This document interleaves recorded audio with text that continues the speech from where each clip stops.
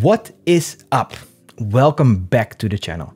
So, as you can see, I am not in my normal fancy Paris studio. I am actually in the countryside. We are in the south of France and look, I'm in this amazing farm. Like there's a little fire going, also the only source of heat. And you don't see this now, but on the other side of the camera, there is forest. We're looking at a field. It's it, This is amazing. So, of course, we are here because there's yet another lockdown in Paris. And we already thought there's going to be another lockdown. So we made some preparations and we spoke to some friends and they offered us to stay with them on their farm. And you know what? Here we are. And so while adding wood to the fire this morning, my brain went into this kind of, how do you say, like a spin, shall we say? Anyways, um, I did this because a while back, my colleague told me, dude, you rebuilt your website. Awesome. I looked at your SEO kind of awesome, not completely, because your sitemap XML doesn't have your blog posts in them. And I was like, what? I write those things to be found for Google, right? And I just assumed having the sitemap plugin into a system that allows you to write blog posts would actually include those. As it turns out, those routes for the blog posts are actually dynamic. And the Nuxt plugin doesn't actually include dynamic uh, URLs. So that's why my brain was spinning and I thought, I know it. I know what to do. So I did a bit of research and in this video, I'm going to show you how I really easily added dynamic routes to my sitemap. Let's rock. All right, so if you look at my screen, you will see a relatively standard Nuxt config.js file. And you can see here, I'll select it for you. There is actually my sitemap uh, plugin. So you literally just install it by yarn or npm and just like add nuxt.js slash sitemap. Very simple. And you know, if you just don't do anything, um, very simple stuff. You just say, okay, path sitemap, you add your host name, a bit of caching stuff. And for me, I also have a start page that opens when I uh, open a tab. I don't want that to be in my sitemap. Nobody needs that.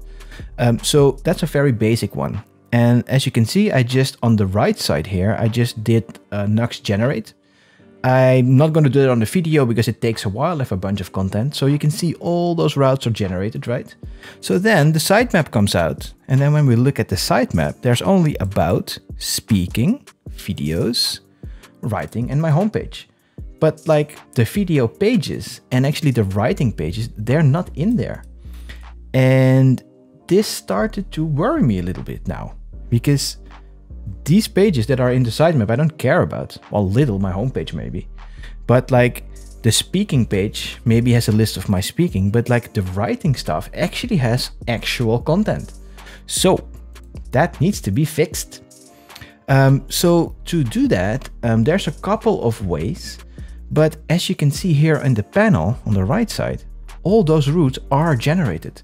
So somewhere in the magical box of Nuxt, when you hit generate, you have all those URLs.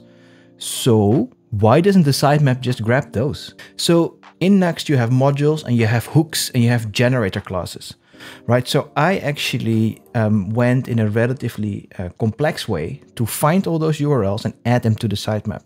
Because I need to say though, if you only have like five dynamic pages, you can actually just put routes as an array and put the URLs in there. But like for me, I have like 50 videos. I have like a whole bunch of stuff that needs to get in. So um, what I decided to do is use the generate done hook and then get and then look in the hook after generation what information was in that in that context that came you know out of that function and so i built a little module that runs um, so it's in the context of Nuxt and as you can see here Nuxt hook generate done.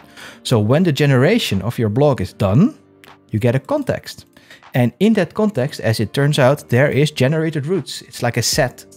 So um, without, with ignoring this for a little bit, what I actually did, I took all that set, I made it into an array, and then I just give that to the sitemap as routes And done.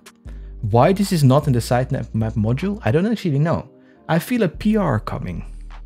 Anyways, so um, I knew this basic, this is quite basic, right? You just put everything in there. But what I actually thought of, like I have this start page thing, or maybe I have an admin panel or something like that, or something secret that I don't want in that sitemap.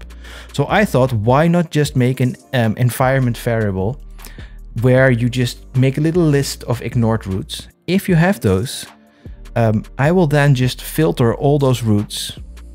And let me just slide that a little. And then filter them without the routes I don't want and give those to the sitemap. Right, so the only thing I have to do now is go to my build modules, put the module in and run. Okay, so this is gonna take a little bit, but we'll just wait for it and I'll probably speed up the video, but there we go. Approximately 10 hours later. Almost. Yes, okay, rendering, rendering. Generating stuff. Here it goes. Yes. And there was the generating sitemap. Okay, so let's open sitemap again. And beam! It is full of all my routes. And you know what? This is a short video. There you go. This is all there is to it. Happy coding. Cheers.